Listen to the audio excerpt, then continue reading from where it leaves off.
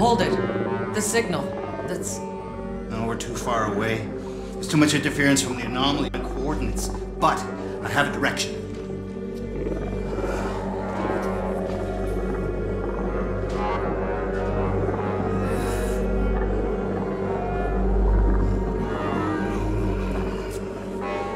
God damn it. What is it? It's either in the forest or somewhere beyond. What aren't you telling me? Nobody's ever come back alive from the forest. Yeah, I figured you were gonna say something like that. Listen. You hear that? Something's under the signal. Is, um, is that a voice? Whatever it is, let's not keep it waiting. Jakub, prepare the truck. We're heading towards the forest. Oh, the forest? Of course. Driving into savage, uncharted territory and breathing a fungus that liquefies your organs was on my list of things to do today. You know, if I had a fucking nickel for every time. Maybe we switch the radio off for a little while.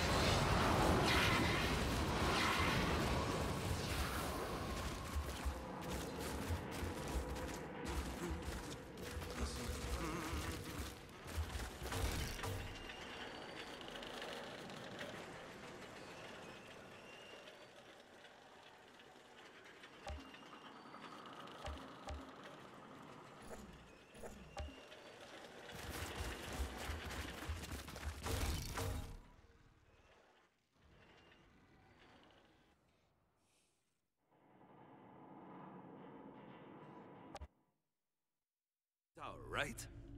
Can we go already?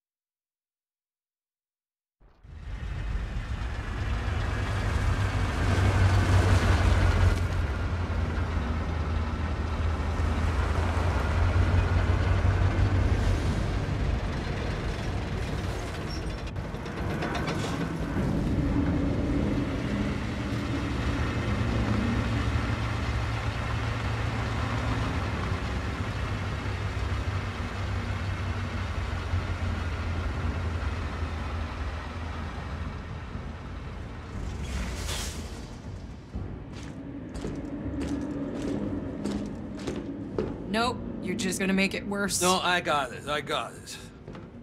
So, we've got problems. Insurgents have taken the quarry, and the only road headed east has been mined. There's no way through unless we talk to Corrigan. He's the Grand Marshal up in Trenchtown, and he is not known for being generous to strangers. Fortunately, I told that charming young lady out there that we were headed east, and now. Don't tell people where we're going. Right, I wouldn't normally, but it turns out she's Corrigan's associate. She'll give us an intro if we help her drive up a package. What kind of package? Try anything, girly, and your short, pathetic life is over. It ain't over till it's over, sweetheart. You? Who are you?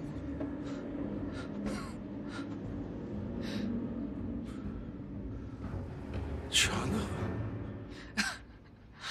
I go to the end of the fucking world, and you're still in my fucking face? Go drown in your bottle, asshole. Why am I not surprised to see you in chains again? Kurva. That girl. Is she a friend of yours? Someone from a long time ago. Any reason she hates your guts so much? Many.